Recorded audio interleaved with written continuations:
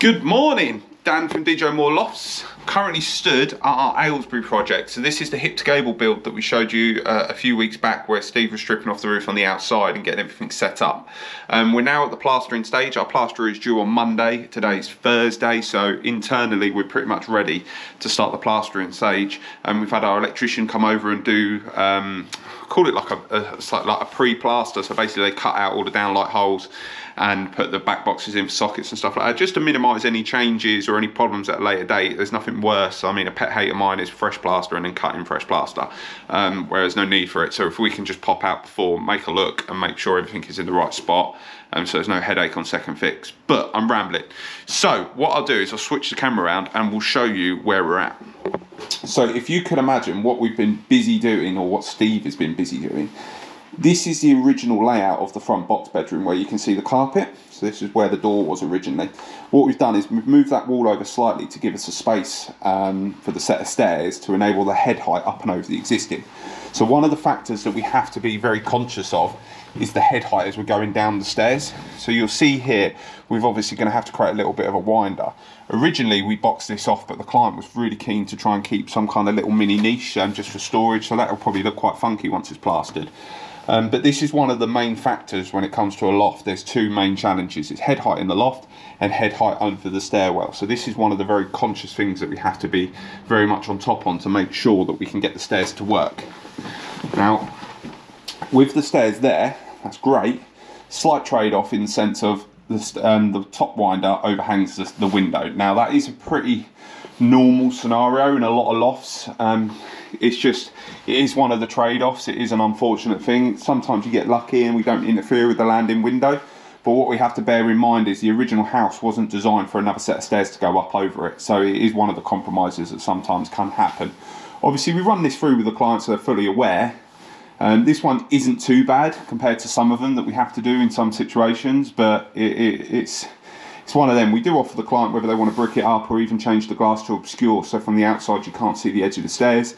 In this instance, though, I think once a set of blinds is put back in, I don't think it will really be that noticeable or that bad. Um, and then what our um, stair manufacturer has done, you'll see like the little detail in this newel, for example. That's because it all matches on the original. So once this is all stained in or painted, whatever client ends up doing, everything will match lovely. We're even getting the bespoke handrail made so that it literally matches perfectly all the way up. But right, let's take you upstairs and have a look. So obviously stairs leading up to, on this property, it's a master bedroom um, and an ensuite. So this landing area benefits from a Velux window up and over, nice and symmetrical in the centre. That's called an MK06 um, window. There's plenty of natural light in there. From the outside though, this window is actually set up a little bit higher than the other two. Now the reason for that is there is an alcove behind that. If we put the window at the same height as the other ones, you would lose a massive amount of storage, but we'll come on to that shortly.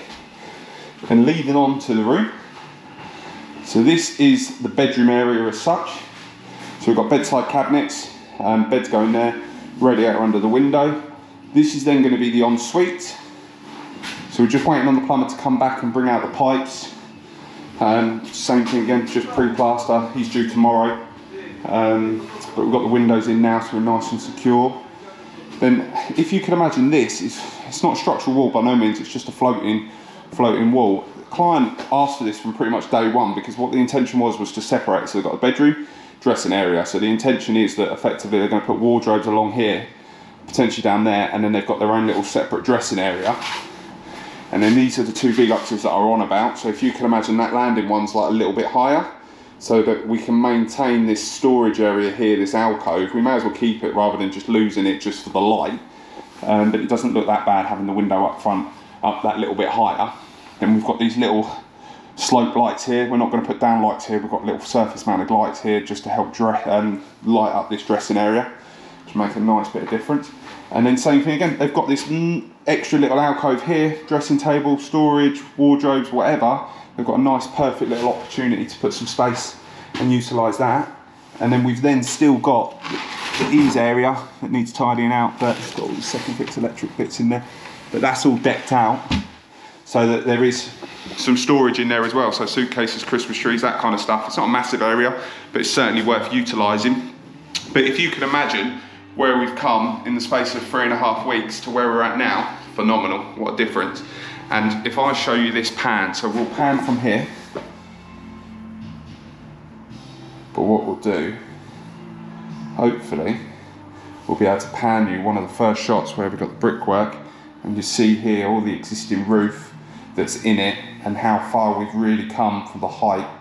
But I think you'll agree, looking at those pans, what a difference we've made here. It's phenomenal. Um, night and day difference with the amount of height, space, um, brightness, everything. It is just complete transformation from those early days of the loft to where we're at now. Probably around two weeks off from completion, subject to the bathroom items.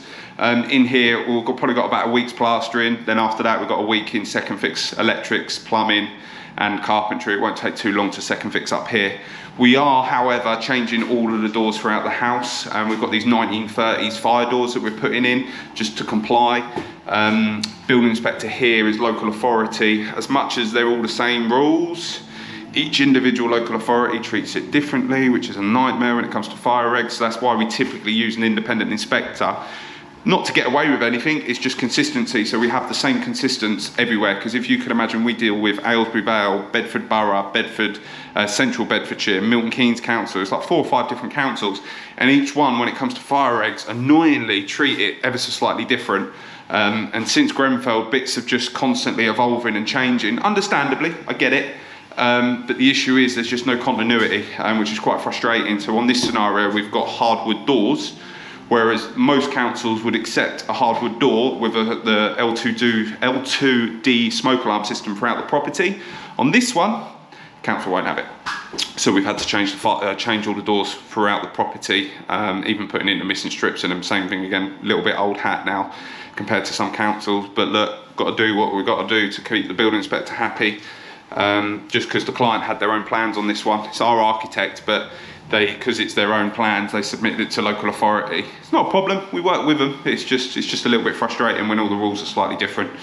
Um, but Steve and Mario are cracking on outside now um, basically just getting everything ready on the dormer done pretty much nothing on the outside there so um, it's just been watertight. So now they're now carrying on with the battening and basically getting it all tiled in whilst the plaster is on the inside but yeah, hopefully that's not too much of me rambling along. Hopefully we'll be able to show you some pan shots of the mid build now, um, just to give you an idea of how far we've come to where we are now. Um, but yeah, look, if you like these videos, don't forget to like, comment and subscribe. Um, let us know in the comments what you think, any questions, um, also anything you'd like to see in coming up videos. And what I'll try and do is get you another fully completed video of this one and so you can still reel the difference and we'll try and put some more shots in from the very beginning to where we are now and to where we will be. Um, but yeah, enjoy your day, catch up with you soon. Thanks for watching.